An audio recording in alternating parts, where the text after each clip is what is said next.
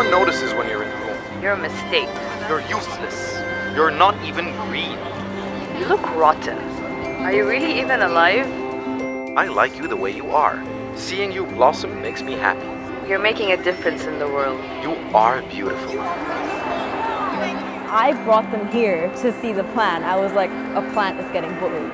Like, it's not normal.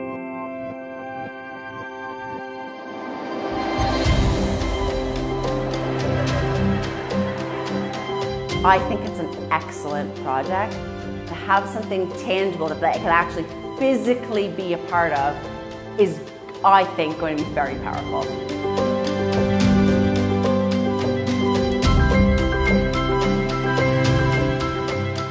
As the weeks passed, I started noticing that the one that was being bullied uh, started kind of to droop.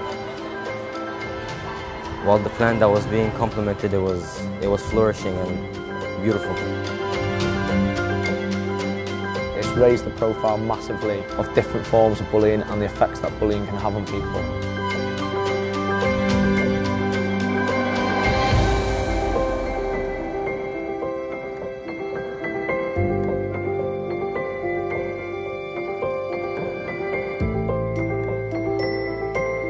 If it affects a plant, it can definitely affect other people.